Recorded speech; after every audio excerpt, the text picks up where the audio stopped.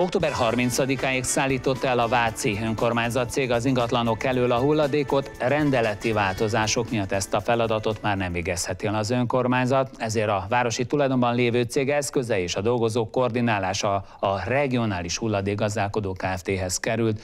A regionális cég ismertebb nevén a Duna Tisza közi hulladékgazdálkodási nonprofit Kft. a rendelkezésére álló kapacitások hatékony felhasználása érdekében január 1-től változásokat vezet be. Változhat majd a szállítás ütemezése, de a zsákos gyűjtési formákat is átszervezi a regionális szolgáltató. Pontosabb információkat Fejk Ferenctől, a DTKHT Nonprofit Kft. igazgatójától, vezetőtől kérdezem. Köszönöm szépen, hogy elfogadta meghívásunkat. Én köszönöm, hogy itt lehetek, és ö, én is köszöntöm a nézőket, és engedje meg szerkesztő, hogy mindjárt pontosítsak az Igen. elején. Tehát gyakorlatilag eddig is a DTK Nonprofit Kft. volt a közszolgáltató Vácon. A Váci, a Váci hulladékgazdálkodási Nonprofit Kft. pedig a DTK Nonprofit Kft. alvállalkozója volt. Ez az alvállalkozói tevékenység szűnt meg október 31. napjával, és gyakorlatilag november 1-től a DTKH saját maga, mint eddigi közszolgáltató végzi ezt a közszolgáltatást. Valójában egy politikus kellene megkérdeznem arról, hogy mi az oka rendelkezésnek, rendeleti változásnak, mert hogy miért nem végezheti mondjuk egy önkormányzat a saját hulladékkezelését, mert korábban még erre is volt lehetőség, most már a szállítása sem nagyon van. Nyilván ezt egy politikustól, döntéshozótól kéne megkérdeznem, öntől szakmailag kérdezem, hogy milyen szakmai indokok lehetnek e mögött? Én azt gondolom, hogy a jelenlegi hulladékgazdálkodási rendszer úgy van felépítve Magyarországon, hogy mondjuk egy olyan 200 ezer fő alatt nem igazán rentábilis a közszolgáltatás. Tehát ugye jelen esetben a Váci hulladékgazdálkodási nonprofit Kft. olyan 40 ezer főt látott el. A térségben korábban volt több ö, cég, amelyik szintén 40 ezer főt látott el. Most önmagában ez a 40 ezer fő soha nem lesz gazdaságos, ez az én szakmai véleményem. Ö, tehát ö, ha, ha a szakmai oldalról nézzük, akkor kell egy olyan ö, lélekszám, ami ezt a szolgáltatást rentabilissá teszi, és én azt gondolom, hogy eddig Vácon ezzel a 40 ezer fővel ez nem valósult meg. Nyilván ez megint politikai kérdés lenne, hogy akkor lenne rentábilis, ha emelnék a szolgáltatását, de ez már megint döntéshozói kérdés lenne. Tehát nyilván önök be vannak szakmailag szorítva, azt mondják, hogy ebből kellene kihozni, az árak ezek szerint nem változhatnak, vagy, vagy nem változnak a várak. Uh, igen, ugye én abban a szerencsés helyzetben vagyok, hogy hála Istennek nem vagyok politikus, tehát én csak szakmai oldalról tudom ezt a kérdést nézni. Én azt gondolom, hogy akik ebben a szakmában vannak és úgymond szakemberek, ő nekik egyetlen egy feladatuk, kötelességük van, hogy mindig a környezethez alkalmazkodnak. Tehát, hogyha jelenleg olyan hatályok, sok szabályok vannak Magyarországon, amelyik maximalizálják az egyébként általunk begyűjtött liternek a díját, akkor nekünk szakmailag egyetlen egy dolgunk, kötelességünk van, hogy ebben megpróbáljunk megfelelni, és azt szerint alakítsuk ki a közszolgáltatásunkat, hogy az egyik oldalon egy általános lakossági megelégedés mellett ebből a díjból kijöjjünk. Ez nekünk eddig DTK Nonprofit Kft. szinten mindig is sikerült, és én azt gondolom, hogy sikerülni is fog. De hát a szakma az erről szól. Na most ugye átvették a Váci volt önkormányzati céget, vagy ezeket az eszközöket. Mit vettek át pontosan? Milyen eszközöket, milyen állapotú eszközöket vettek? A, tehát gyakorlatilag ugye a dolgozókat vettük át ö, jogfolytonos ö, munkaszerződés keretében, november 1-ével. A Váci cégnek a tulajdonában pedig soha nem, tehát nem volt nekik saját eszközállományuk, hanem ők is bérelt eszközökkel végezték ezt a tevékenységet, és ezen bérelt eszközöknek a további bérleti díját nem a Váci cég fizeti, hanem a DTK Nonprofit Kft. Tehát effektíve úgy vettük át ezek az, ezeket az eszközöket, hogy a bérleti díjukat azokat mi finanszírozzuk tovább. Tulajdonképpen mi Váciak egy kegyelmi állapotban voltunk, és mekkora ez a cég tulajdonképpen, ez Magyarország legnagyobb regionális hulladék ez így van, ez most szumma közel 1,6 millió embert jelent. Lehet ezt koordinál, koordinálni valójában? Jótól kérdezem. De... Mert hogy nem mondjam, kis feladat lehet Dunat-Tisza közi igen, é, Én azt gondolom, hogy butaság lenne azt kijelenteni, hogy minden tökéletesen működik, azt viszont ki tudom jelenteni, hogy nagyobb zöggenők nélkül tudjuk ezt a közszolgáltatást biztosítani, és azt gondolom, hogy a jelenlegi rendszerbe, vagy a várható rendszerbe, mert azért itt az, szerintem, aki követi a hulladékgazdálkodásnak az eseményét, az pontosan tájékozott arról, hogy egy 35 éves koncesziós jogban történő átadás van jelenleg folyamatban, egyetlen egy pályázóval, aki, aki azt gondolom, hogy teljesen üzleti alapon fogja ezt a hulladékgazdálkodást a továbbiakban működtetni, és, és azért nem véletlen az, hogyha visszagondolunk arra, hogy amikor bejöttek az ISPA vagy a kohéziós alapprogramok Magyarországra, akkor minimum meg volt határozva egy 200 ezer fő. Tehát ez nem véletlen. Tehát az Unióba ugye nagyon függ a lakosság aránytól is. Mi itt egy kicsit szerencsétlen helyzetben vagyunk, nem, mert nem olyan magas a népszülőségünk, a 10 millió főnk azért eloszlik Győrtől Nyíregyházáig, de egyébként én azt gondolom, hogy rentábilisan ezt a hulladékgazdálkodást nem csak Magyarországon, hanem európai színvonalon is minél nagyobb, tehát minél nagyobb fő tartozik ebbe a közszolgáltatásba, annál nagyobb biztonságot kap mindenki. Tehát én, én azt gondolom, hogy nekünk a célunk az, hogy ne álljunk meg 1,6 millió főnél, hanem menjünk minél följebb, mert ezzel tudunk egyrészt fajlagos költség szempontjából minél olcsóbbak lenni, másrészt meg ezért lesz egy, egy óriási nagy szolgáltatási biztonságunk. Ha már az Európai Uniót behozta, és ezt annak a fényében is kérdezem, hogy mi váciak azért egy kegyelmi állapotban voltunk, hiszen volt egy saját hulladék szállító cégünk, és azt mondta az akárki, hogy Józsikán, vigyétek már el ezt, és akkor azt elvitték azt is. Nyilván itt a cég a, arra törekszik, hogy minél rentábilisabban kihozza ezt a fajta szolgáltatást, és ha már az Unió szóba került, akkor gondolom itt azért egyfajta szigorításra is lehet majd számítani, hiszen korábban is kommunikálták azt, hogy miket és hogyan fognak elvinni.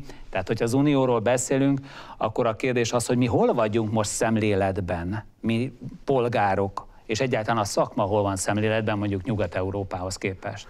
Ugye én azt gondolom, hogy onnétől fogva, hogy Magyarország belépett az Európai Unióba, rá ugyanazok az uniós előírások, törvények vonatkoznak, mint bármelyik tagállamra. Ugye ez, ami a, mi, a hulladékgazdálkodásunk terén azt jelenti, hogy ugye a szerves anyagtartalmunkat csökkentenünk kellett folyamatosan, és illetve a lerakásra kerülő anyagnak a mennyiségét is csökkentenünk kell, a haszonanyagnak, a begyűjtött és újrahasznosítható anyagnak a mennyiségét pedig növelnünk kell. Tehát a ugye, szelektivitást kell. Így növelni. van, így van. Ugye én itt örömmel tudom azt elmondani, hogy én azt gondolom, hogy az 1,6 millió lakos vonatkozásában Vác az egy, egy, egy nagyon jól teljesítő város, hiszen hogyha itt valaki egy szelektív gyűjtés napján végig megy a városba, akkor azt tapasztalja, most elnézést a kifejezés, hogy hegyekben állnak kint a szelektív hulladékok, ami jó abból a szempontból, hogy az a környezettudatos formálás, ami ugye az évek folyamán az elmúlt tíz évben azért Magyarországon be kellett, hogy jöjjön és be kellett, hogy ívódjon, az én korosztályomban még nem annyira, de a fiatalokban már nagyon. Tehát az én 9 éves lányom az megköveteli, hogy otthon külön szelektív edényeink legyenek, már a ö, lakáson belül is. Ö, na most ez itt Vácon, ez nagyon szépen működik. Tehát a, az arányait tekintve az egyik kiemelkedő régió a begyűjtött haszonanyag mennyiségének a tekintetében. Egyébként mennyire költséghatékony ez százalékban kifejezve a korábbi, az egy kukába toljuk a kommunális hulladékot, nem szelektálunk. Mekkora lehet a, a költséghatékony hatékonyság százalékban? Én azt gondolom, hogy úgy vannak kialakítva a jelenlegi jogszabályok, hogy ami lerakásra kerül, annak tonnánként van egy úgynevezett 6000 forintos lerakói járulékköltség, amit meg kell fizetni. Tehát ez is azt a célt szolgálja, hogy minél kevesebb ö, hulladék kerüljön lerakásra, és minél több kerüljön hasznosításra. Tehát az a hulladék, amit én külön gyűjtök és haszonanyagként fogom adott esetben tovább értékesíteni, és ugye ez itt szeretném hogy ez nem a közszolgáltatás, szolgáltatóknak az árbevétele, hanem a Nemzeti Hulladékgazdálkodási, tehát az NHKV ZRT. Ez egy állami cég. Így van. Tehát gyakorlatilag a, a haszonanyag az az ő úgymond árbevételük, tehát ez nem a közszolgáltatóknál jelentkezik. Ez azt jelenti, hogy ennek a haszonanyagnak a begyűjtése, kezelése, az beletartozik abba a közszolgáltatói díjba, amit az NHKV ZRT-től a közszolgáltatók megkapnak. Cserébe a haszonanyagnak az értékesítése, továbbadása, további sorsa, az pedig az NHKV ZRT-nek a feladata, illetve az NHKV ZRT-nél jelenik meg árbevételként. Ugye itt egy óriási változás zajlott le az elmúlt hat hónapban. Az NHKV az az állami mamut hulladékkezelési cég, ami, amiből gyakorlatilag önök is élnek, ha értem, mert a számlát közvetlen tőlük kapjuk. Így. Mi közöttünk, én, mint felhasználó vagy hulladék előállító, és ön, mint a cég képviselő között nincs számlás kapcsolat. Így van.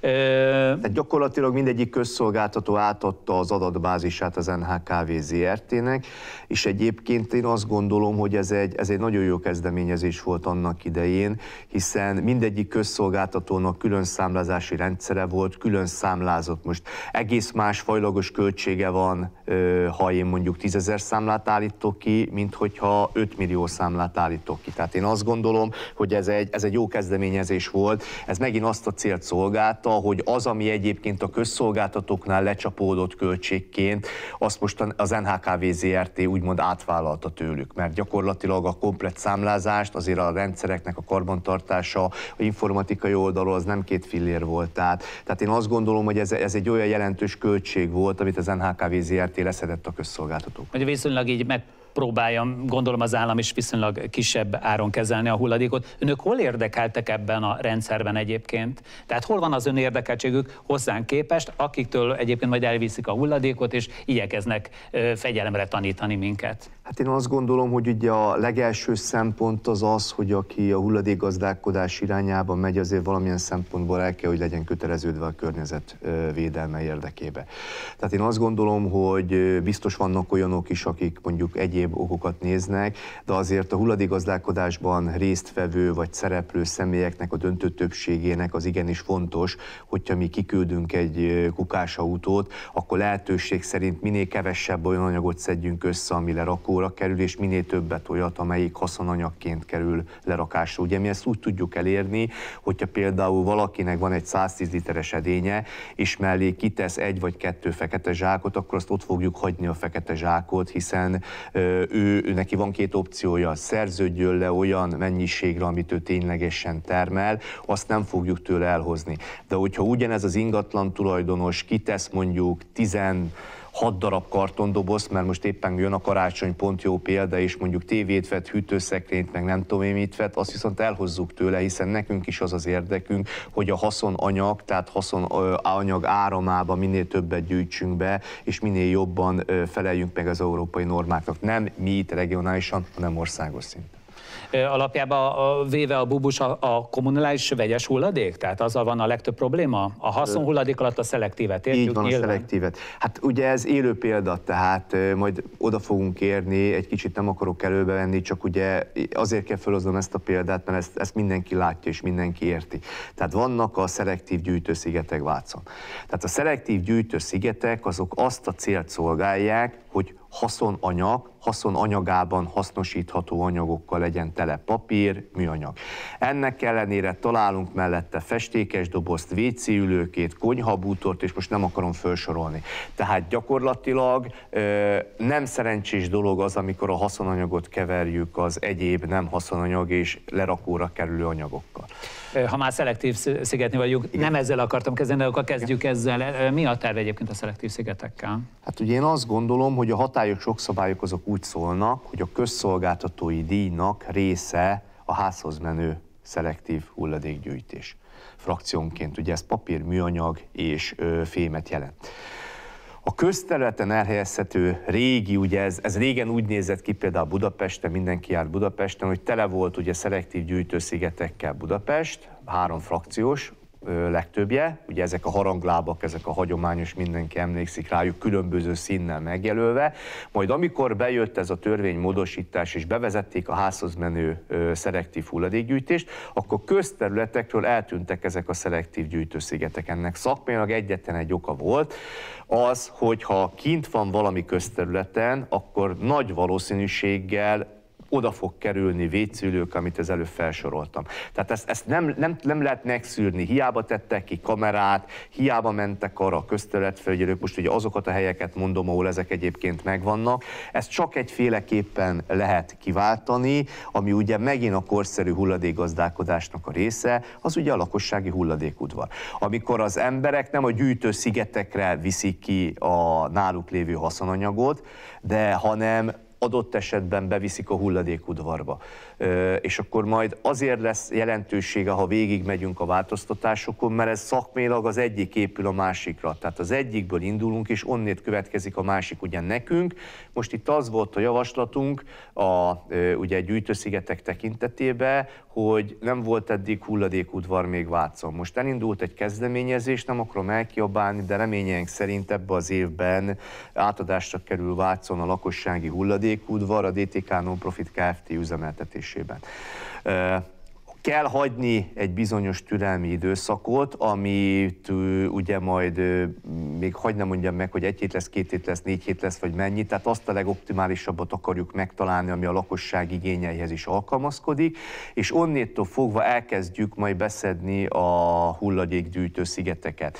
Ennek ugye még egy óriási nagy előnye van, hogy általánosan bevett tapasztalat, hozzánk is érkezik bejelentés, hogy a szelektív gyűjtő szigetnél megérkezett verőcéről, nem megbántva a verőcieket, akkor úgy mondom, hogy a környező településekről az autó, és ott elkezdik kipakolni az egyébként nem szelektív hulladékot. Tehát ezt addig, ameddig ott van a szelektív sziget, addig ezt nem lehet kivédeni. És ráadásul törvény szerint nem is kellene, hogy ott legyen, mert közterületen gyűjtőszigetet az üveg esetében kell fenntartani, hiszen az üvegnél nincsen házhoz menő gyűjtés, ezért az gyűjtőszigetes formában kell fenntartani a jelenlegi hatályos törvényi jogszabályok alapján. Tehát én azt gondolom, hogy onnétől fogva, hogy megnyílik Vácon a hulladékudvar, begyűjtésre kerülnek a gyűjtőszigetek, megmaradnak az üveggyűjtőszigetek, így, így lesz teljes az a komplex hulladékgazdálkodási szolgáltatás, ami, ami egyébként több helyen előfordul, és most már Vác is csatlakozik hozzá. Egyébként a hulladékudvar az ott majd pénzért vesznek át? Nem, a, a hulladékudvar az ugye lakossági bent van a nevébe is, ez azt jelenti, hogy gyakorlatilag ahhoz, hogy valaki igazolni tudja, hogy ő, ő jogosult erre, ugyanis a jogszabályok azok arról szólnak, hogy az veheti igénybe, aki Akit be tudja mutatni az érvényes, legutolsó befizetett hulladékszállítási csekét. Tehát gondolnak, ennek, ennek azért van tömeget, egy régi ágyat nem tudok oda vinni, vagy el tudok vinni egy régi De fotelt is? Igen, igen, tehát ez pont azt a célt szolgálja, hogy ami most ugye a lakótelepeknél van, hogy nincs gazdája, mert a 46, mondtam egy számot, lakásból nem tudjuk megmondani, hogy kitette ki a sejlont a tűzhelyet, sziget, vagy az egyéb karospotert. Így van. Mellé, nem is a szelektív szigetre, mert nagyon sok mellé, esetben igen. ott vannak a kuka mellett, igen. tehát most, most effektíve ugye a kommunális gyűjtők is a lakótelepeken egy ilyen szigetszerűen működnek, ami nem jó hozzáteszem, de, de onnétől fogva én azt gondolom, hogy el tud menni abba az irányba is az önkormányzat, hogy miután van lehetőség arra, hogy valaki valahova ezt kivigye, akkor most ez az én véleményem, tudom, hogy csúnyán hangzik, és nem szokták szeretni, de viszont sajnos a magyar ember az abból ért, hogy egy vagy kettő vagy három embert meg kell bírságolni, ami egyébként jogszabályilag lehetőség is van, hogy köztelet egyébként nem lehet kitenni hulladékot, ez hulladéknak minősül. Tehát abban az esetben nehéz, amikor nincs arra lehetőség, hogy valaki valahova bevigye, de abban a pillanatban, hogy lesz egy hulladékudvar Vácon, lehetősége van arra, hogy oda bevigye, akkor, akkor én azt gondolom, hogy el kell menni a másik oldalon abba az irányba, hogy ezt az illegális, úgymond szemetelés, ez megszűnjön meg. Tehát alternatívát adni és büntetni. Egyetlen kérdés még ezzel kapcsolatban lesz, marad egyébként a lomtalanítás, vagy akkor már értelmét veszti? Nem, a lomtalanítás az szintén meg fog maradni, mert ugye az évi egyszeri lomtalanítás az szintén a közszolgáltatásnak a része.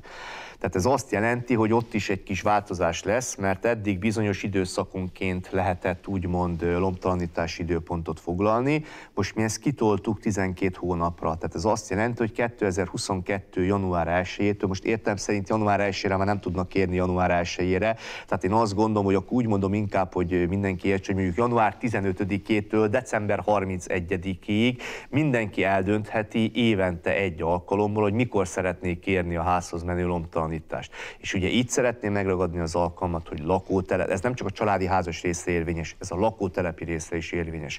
Tehát a gyűjtési területünkön általánosan bevett gyakorlat az, hogy a lakóházak, tehát most a társasházakra gondolok, panelházakra, azok azt is megtehetik, hogy hárman, négyen, öten összeállnak, egy közös napot kérnek, és akkor oda közösen kiteszik, eljön az autó, összegyűjti. Tehát itt, itt azt szeretnénk elkerülni ezzel, és ezért is nyújtottuk meg ennek az időszakát, hogy ha valaki 11 és fél hónap alatt nem tud egy időpontot foglalni magának, akkor nem biztos, hogy bennünk van a, bennünk van a probléma.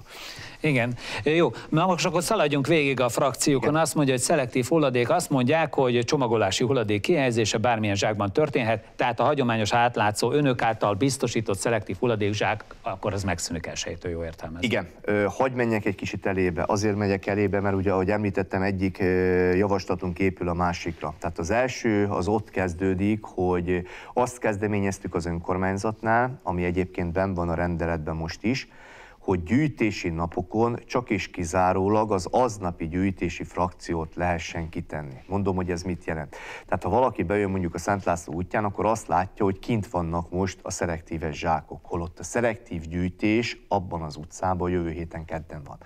Tehát ez, ez azt a látszatot kelti, hogy mondjuk egy idegen jön Vácra, még el sem éri a Váci táblát, vagy alig, hogy átlépi a Váci táblát, azt látja, hogy ott van három, négy, öt zsák. Hú, azt mondja, milyen szemetes ez a város. Holott nem szemetes ez a város, csak van egy-két olyan állampolgár, aki úgy gondolja, hogy őt pont nem érdekli, hogy mikor van az a szelektív gyűjtésnek a napja, neki most lett el a zsák, ő most tette ki. De én azt gondolom, hogy ezt azért kell megszüntetni, és itt ez az önkormányzattal közös érdekünk, mert én nem tudom megmagyarázni azt, hogy miért nem vittem el azt a hulladékot, amit majd jövő héten kell elvinni. Az önkormányzat meg megint nem tudja megmagyarázni, hogy nem szemetes a város, csak van egy-két olyan renditens állampolgár, aki nem veszi figyelembe az egyébként önkormányzati rendeletben meghatározott gyűjtési napokat. Tehát mi azt szeretnénk kérni, hogy itt történjen egy olyan ráerősítés arra, és ugye ezt a célt szolgálja ez is, hogy ezt belevettük a lakosság felé a tájékoztató szórólapba, hogyha jövő héten kedden van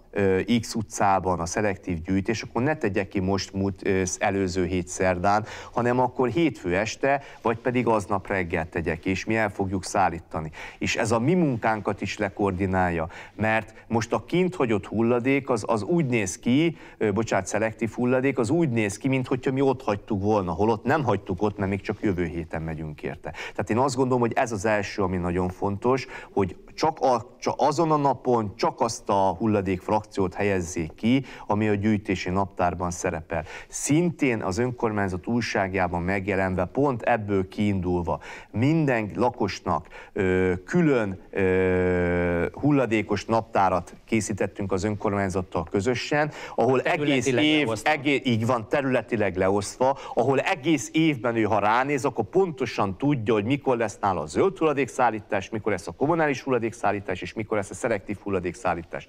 Mi cserébe csak annyit kérünk, hogy ezt, ezt ne csak nézzék, olvassák, értelmezzék, és tartsák is be. Nyilván az önkormányzat is erre rá fog menni. Igen, igen, most jön a szelektív zsák, igen. Tehát ugye gyakorlatilag azzal kezdtük a beszélgetést, uniós normákat is figyelembe véve, hogy elmegyünk a haszonanyag irányába. Tehát minél több legyen a haszonanyag, és minél kevesebb a lerakói anyag. Ugye itt nagyon-nagyon sok, én azt gondolom, hogy egy közszolgáltatásnak a minősége, megítélése az arról szól, hogy öntől szerkesztő úr elvittük-e a kukát, elvittük-e a zöld hulladékot, vagy elvittük-e a kirakott szelektívet. Itt, és most itt alatt nem csak a Vácot értem, hanem ezt a 114 társult települést, itt a panaszainknak közel a 75% az arról szólt, hogy nem találta meg a kirakott két darab zöld hulladékos zsák helyett a két darab zöld hulladékos zsákot, a kutya megette a zsákot, a szomszéd ellopta, fújt a szél, most nem akarok belemenni, hogy milyen e-maileket kaptunk, és akkor el, vagy, vagy, vagy mondjuk tegyük fel azt, hogy 8-at kapott, és ő 9-et rakott ki, vagy 7-et kapott, és 11-et rakott, rakott ki. Ugye ez volt az első része, hogy mi nagyon sokat gondolkoztunk, és, és egyszerűen nem tudjuk azt kivédeni, hogy gyakorlatilag tehát mi, mi hiába próbáljuk megkövetelni az embereinktől, nem tudunk ott állni mellettük és végignézni, hogy a legyűjtött 900 ingatlanukat ők most tényleg jól csinálták-e meg egyik oldalról. A másik oldalról pedig ugye megint csak mentünk afelé a rendszer felé, hogy ugyanakkor meg nagyon sok olyan panasz is érkezett hozzánk, ugye pont a zöld hulladékok tekintetében, hogy ő neki kevés ez a mennyiség, és ő, ő nem akar vásárolni se, kér többet. Most mi ezt nem tudjuk nekik, mert és amikor már egy kialakult egy ilyen zsákos problémakör, akkor elkezdtünk azon gondolkozni, hogy hogy tudunk egy olyan rendszert kialakítani és változtatni január 1-től, ami a lakosság ö, jobb ö, szolgáltatása felé megy el. És ugye itt mondtuk azt, ami egyébként az egész országban mindenhol így van, hogy nem arról fog szólni január 1-től a szelektív hulladékgyűjtés, hogy aki amennyi zsákot kap, abba kiteheti, mert ugye itt jön be az, amiről beszéltünk, hogy én nem tudom, hogy jövő héten lehet, hogy kettővel többet fogok inni, és már nem fér be, és akkor mit tudok vele tenni? Ja, nincs zsákom, akkor beteszem a kommunális hulladékban. Nem. Ezért mondtuk azt, hogy akkor megszüntetjük azt, hogy zsákot osztunk annyit, amennyit, aki kitett, és több, bármennyi mennyiségbe, bármilyen színű, tehát világos zöld, világos kék, fehér, tehát nekünk az a lényeg, hogy átlátszó legyen, áttetsző, ez csak azért kell, hogy, hogy látják, el tudjuk hogy dönteni, benne. így van, hogy nem e kommunális hulladékkal van tele, hanem tényleg haszonanyag, de így szeretném megint azt elmondani, hogy a váci lakosok 85%-ba nagyon tiszta haszonanyagot képeznek. Tehát nincs az a probléma, hogy mondjuk nagyon kommunális hulladékkal szennyezett. Ugye, amikor mi átvettük ezt a szolgáltatást, akkor egy kicsit akadozott a, a gépezetünk, ezt megmondom őszintén, szerkesztőnek biztosan is tapasztalta, hiszen járt a városba, és, és számtalan olyan kérdést kaptunk, hogy ha egyszer kint van a szelektív, akkor miért nem dobjuk be a kommunálisba? Hát pont azért nem dobjuk be a kommunálisba, mert olyan jó minőségű volt ez a haszonanyag, hogy én nem akarom szennyezni. Akkor inkább fölvállaltam azt, hogy nem tudtam adott napon összegyűjteni a szelektívet, csúsztam vele egy-két napot, de külön gyűjtöttem, mert tényleg jó minőségű. Tehát én azt gondolom, hogy ezzel az újítással a lakók egy plusz kapnak, mert nem kell azon görcsölnie, hogy megvan-e a zsák, nincs meg a zsák, elég az a zsák, amit kapott, bármennyit tehet, ki tehet, mi el fogjuk. Ez a szelektív. Mi lesz Így a zöld A zöld hulladéknál ugye eddig az volt a rendszer, hogy ingatlanonként maximum két darab zöld hulladékos zsákot kapott valaki. 19 gyűjtési gyakoriság van egy évben, ez azt jelenti, hogyha feltételezem azt, hogy Mert mindenki... két hetente volt, és télen nincs. Így van, így áll tehát áprilistól november igen, igen, igen. van. Tehát ez azt jelenti, azt feltételezve, hogy mindenki megkapta a két zsákját, és mindig kitette, az 38 darab zöldtulajdonos zsák. Mi ezen is nagyon sokat gondolkoztunk, és a többi általunk másik területen lévő, mondhatnám azt, hogy jól bevált gyakorlatot vetettük fel itt is az önkormányzat felé, hogy mi átadjuk a teljes évi mennyiséget az önkormányzatnak, az ügyfélszolgálatunkon besegítünk nekik, tehát hogyha valaki beszeretne menni, akkor átveheti az éves zöldtulajdonos mennyiségét. Azzal, hogy az önkormányzat átvette tőlünk, megfelelünk a törvényi előírásnak, hiszen le tudjuk igazolni az NHKV felé. Itt is itt szeretném megjegyezni, hogy egyébként a, a normál gyűjtés az 8 plusz 2, az azt jelenti, hogy 8 darab zsák és két alkalom karácsony, mi ezzel szembe 38 ezen darab... az alapszolgáltatás. Így van, ezen az alapszolgáltatás, mi ezzel szembe 38 darab zsákot adunk, tehát azt lehet mondani, hogy több mint kétszerese, sével, korszerű mondjuk úgy a zöld hulladék gyűjtés, mint ami egyébként a normálban szerepel, és mi odaadjuk egybe az éves mennyiséget, és hogyha valakinek ez nem elég, az önkormányzatnál pedig bennmaradt mondjuk azért, mert a negyedik emeleti panelban nem mindig szoktak füvet nyírni, akkor az önkormányzat az oda tudja adni azoknak, akiknek adott esetben nem volt elég. Ugye itt megint a lakosságot akarjuk azzal segíteni, hogy fölöslegesen ne kelljen nekik többlet zöldhöldékos zsákot vásárolni, mert ha, tehát ugye én nekem teljesen mindegy, hogy ezt a 38 darabos ingatlan zsákot,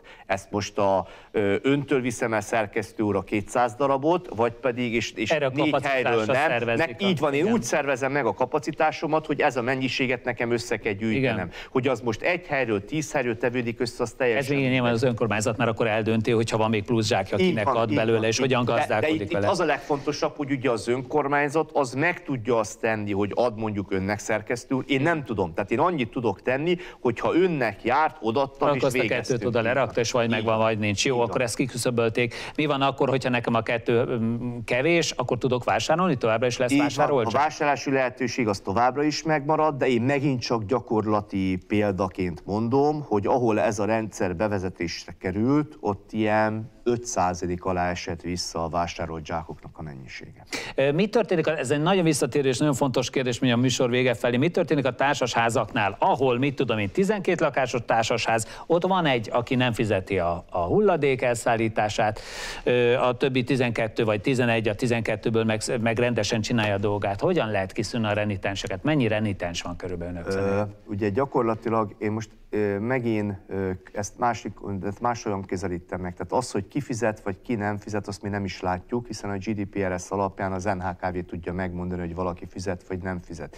Mi odáig tudunk csak eljutni, hogy rendelkezik-e közszolgáltatói szerződéssel, vagy nem. Tehát a közszolgáltatóknak az a feladatuk, hogy közszolgáltatói szerződéssel rendelkezzenek az ingatlan tulajdonosok, a fizetés az már az NHKV-hoz tartozik. Akkor hogyan ellenőrzik, hogy a rendszernek Igen. a tagja? Na most ugye gyakorlatilag ennek a leges legegyszerűbb módja az, hogy literre van szerződése mindenkinek, tehát meg, mi látjuk azt, hogy mennyi mondjuk szummába a ö, szerződött liter mennyiségünk Vácon, és ezzel szemben mellé tudjuk tenni a begyűjtött mennyiséget, és akkor most mondhatom azt magyar szóhasználat, hogy köszönő viszonyban nincs egymással. Ö, én azt gondolom, hogy én, én soha nem szoktam foglalkozni a múlttal, engem mindig a jelen meg a jövő érdekel. Tehát, en, Tehát magyar sokkal több szemét keletkezik, mint amennyi. Így van. Most ugye itt mi megint nem fogunk tudni más tenni, mint azt, hogy most kiszűrjük azokat, akik eddig nem fizettek. Ezt egyetlen egyféleképpen tudjuk kiszűrni, úgyhogy december 1-ével pont így van a kocsimban, elnézést kérek, behozhattam volna. Egy matricát ragasztunk a kukájára annak, akinek kint van az edénye. Önök viszont ragasztani? Így van, így Jó. van mi. Akinek kint van az edénye, viszont nincsen közszolgáltatói szerződése. Tehát ugye ez úgy néz ki nálunk jogszabályilag, hogy legalább kétszer föl kell szólítanunk ilyen formában ö, mi ezt háromszor tesszük meg. Tehát amikor valaki azt látja, hogy három darab matrica van a kukáján. Ezt onnan fogják tudni, most próbálom összerakni. Igen. Tehát azt nem látják, hogy kivel van szerződésbe az NHKV-val, tehát a. Nemzeti Kuka Holdinggal. De önök szállítják. Igen, nevet nem tudunk, de azt tudjuk, hogy mondjuk a Petőfi Sándor utca 6 előtt kint van egy edény, akkor a Petőfi Sándor utca 6-nak van-e szerződése, vagy nincsen egyik oldalról. A másik oldalról ugye eddig De ez nem... munkának tűnik így első. Ö, nem, nem, mert hát a gyűjtőjáratnak ez az úgy néz ki, hogy a gyűjtőjárat, amikor megy, akkor ott van egy névsor, bocsánat, egy utca egy, egy, egy utca ingatlan szám meg tüntetve, és oda van írva, hogy szerződéssel rendelkezik, nem rendelkezik, rendelkezik. Ez egy útvonalterv szinte, hogy így, így, így Tehát azon az útvonal, Igen. amikor mennek az autók. Ők ismerik, tudják, hogy... Ez az egyik. A másik ugye általánosan bevált gyakorlat a matrica. Tehát ez azt jelenti, hogy az NHKV ZRT az első számlával, olyan március környékén, február tehát azt mondom, hogy eltérő, tehát február és március között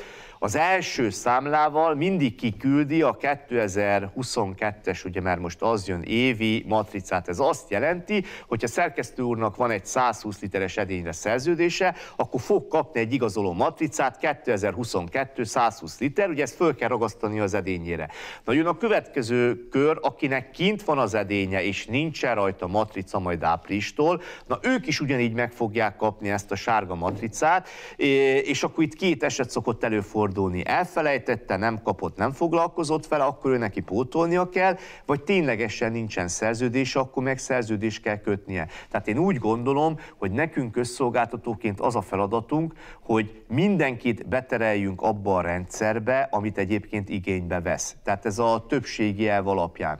Tehát én azt gondolom, hogy, hogy roppant bosszantó az, amikor itt, itt, itt azért ez egy kisváros, tehát mindenki ismeri a másikat, és mondjuk azt látja az egyik szomszéd, hogy a másik azt azt mondják, hogy jó, hülye vagy, minek fizetsz nekem szerződésem sincs, és elviszik az edényét. Tehát nekünk az a feladatunk, hogy mi megpróbáljuk kiszűrni azt, akinek eddig nem volt szerződése, és most addig nem foglalkozok, azzal nem foglalkozok, hogy eddig ezzel miért nem szűrték ki, mi szeretnénk kiszűrni. Tehát mi szeretnénk abba az irányba elmenni, hogy az, aki ezt a szolgáltatást igénybe veszi, azt nem tudom, hogy fizete, de azt szeretném, hogy legalább szerződéssel rendelkezzen. Azt esetleg láthatják majd a 12 lakásos társasház esetében, hogy a 12-ből egy nem fizet? Ilyet ki tudnak szúrni? És közös kukáról beszélünk, tehát nem egyen, egyenként Ugye kukáról A társasházok azok speciális esetek, tehát mindenhol van egy közös képviselő.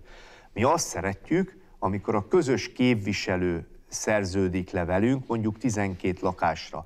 Mert hogyha a közös képviselő leszerződött velünk a 12 lakásra, és nem külön-külön lakásonként, akkor az nekünk ott egy 12 lakásos pipa, most idézőjelbe téve. Ráadásul ugye a társasházaknak a liter mennyisége, amire leszerződnek, az nagyon sok esetben köszönő viszonyban nincs a kihelyezett tároló edények űrtartalmával. Tehát ugye úgy szól a jogszabály, hogy ennek egyeznie kell. Tehát most mondok egy példát, van 12 darab társasház, ott minimum a jelenleg hatályos jogszabályok alapján mondjuk 110 literes edényel kell rendelkezni, nincs egyéb kedvezmény, vagy egyedülálló, vagy stb. Az azt jelenti ugye, hogy akkor 12-ször 110 liter, akkor ne legyen kint mondjuk kettő darab 240 literes kuka, mert az nincs szinkronba. Tehát a társasházak esetében valamilyen szinten ezt is szinkronba kell hozni, de én úgy gondolom, hogy, hogy, hogy a választott közös képviselőknek ez is feladata kell, hogy legyen, hogy ők pontosan nyilván tudják tartani. Nagyon sok helyen az eddigi területünkön a közös költségben szerepel a személydíj is, és ő fizeti tovább. Ugye az szerencsés, hogyha a, tár, tehát, hogyha a közös képviselő köti meg, akkor az NHKV fele is ő fizet. Akkor az azt jelenti, hogy a közös költségből elutalja, akkor az biztos, hogy ki van fizetve. Mi most abba az irányba akarunk elmenni, hogy aki abba a lakóközösségbe él a 12 lakásból, mind a 12 lakásnak legyen közszolgáltatói szerződés. Még egyetlen egy kérdés, és mert nem kukacoskodok tovább viszi el a kukás autó a hulladékot a házak elől, azt mondja a sarki botos, Ferikém, mit egy ezres, dobjátok már be ezt is, ezt hogy szúrják ki? Vagy hogy fogják kiszűrni? Uh, hiú ábránd lenne azt mondani, hogy ilyen nincsen. Hiábrán lenne azt mondani, hogy ezt ki fogjuk tudni szűrni. Ezt, ezt csak úgy tudnánk kiszűrni, hogyha minden egyes járatunkon külön magánnyomozói csapat menne és ellenőrizni. én most, én, én most teljesen őszinte leszek önhöz. Súly alapján egyébként ki lehet valamilyen nem. szinten? Nem. Nem, tehát, tehát sehogy ezt csak így tudjuk kiszűrni. Tehát én most őszinte leszek önhöz szerkesztő, se a költségvetési büdzsénkben erre nincsen keretünk egyik oldalról. A másik oldalról én, én pont azt tudom most itt mondani kamerán keresztül mindenkinek, ha egy kicsit valaki számol, és most megnézzük a szemétdíjnak az egy hónapra vetített összegét, ami egy cigaretta árát nem éri el. Ha, ha valakinek így kicsikét is használja a fejét, akkor rá fog jönni arra, hogy neki sokkal jobban megéri leszerződni egy cigaretta ára alatt, mint adni két vagy három ezer forintot azoknak az embereknek, akik mondjuk elviszik.